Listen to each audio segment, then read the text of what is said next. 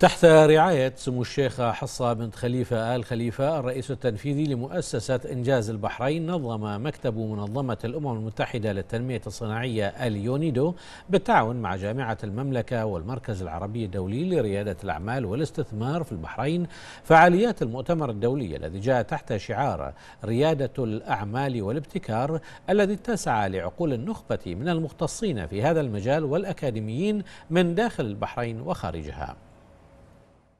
فعاليات المؤتمر الدولي الذي جاء تحت شعار ريادة الأعمال والابتكار اتسع لعقول النخبة من المختصين في هذا المجال من داخل البحرين وخارجها كوكبة من السلك التعليمي من مختلف الجامعات المحلية والعربية والعالمية جاءوا مجمعين على ضرورة توسيع النطاق العلمي والعملي لمجال ريادة الأعمال والمضي قدما نحو التمكين الاقتصادي للشباب.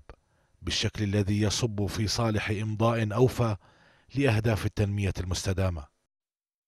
هو رد من الجميل أو أو ما قمنا به إحنا من دعمهم آه، هم الحين جايين لنا على البحرين على أساس أنه كيف تكون في شراكة بين كل هذه الخبرات المختلفة ونضع خارطة الطريق لوضع الآلية المناسبة لربط التعليم بالابتكار وريادة الأعمال. شباب في كل دول العالم هم الأساس. يعني إذا نظرنا إلى أمريكا مثلا اللي أسس الفيسبوك واحد من الشباب واللي أسس السناب شات شباب صار. فدائما الشباب هم اللي عندهم القدرة على العطاء والإبداع.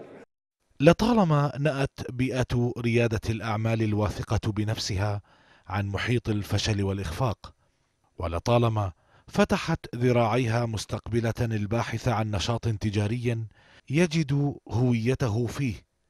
ليصبح رائدا يستوطن بفكره الاقتصادي بيئة الأعمال مستوحيا من واقعه مشروع العمل المناسب الذي سيكون بمثابة انطلاقة فعلية نحو عالم الاستثمار. إن ريادة الأعمال تعتبر من أهم الاستراتيجيات الآن للتنمية الاقتصادية والاجتماعية في كثير جدا من بلدان العالم. ومما يدعم ريادة الأعمال أن يكون هناك بيئة داعمة وبيئة ملائمة لنشأة وتطور واستمرارية هذه الأعمال ونموها في المستقبل. آه، يجب أن تكون هناك مداخلات من عدد من الجهات التي يمكن أن تسهم مساهمة فاعلة في آه، استمرارية هذه الأعمال ومنها الجامعات ومنها وسائل الإعلام ومنها آه، الوزارات ذات الصلة بتنمية وتطوير الأعمال ومنها اتحادات أصحاب الأعمال في هذه البلدان.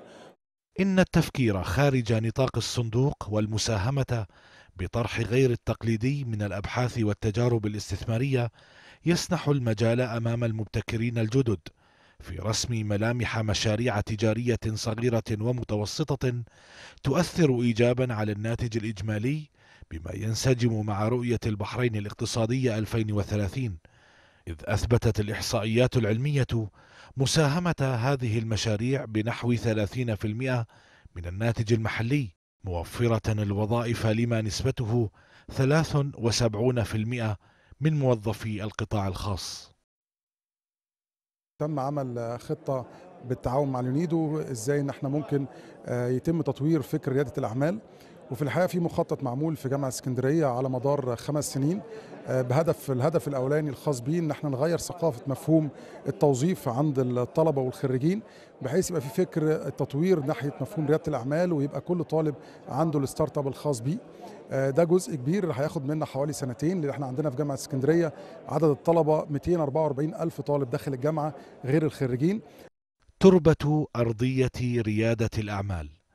دائما ما أثبتت خصوبتها بالقدر الوافي أمام كل طامح ينوي طرح بذار تطلعاته في بستان لغه المال والأعمال. إن عظمت أحلامك فلا بد أن تستجيب لها الإرادة من أجل أن تراها حقيقة ماثلة أمامك.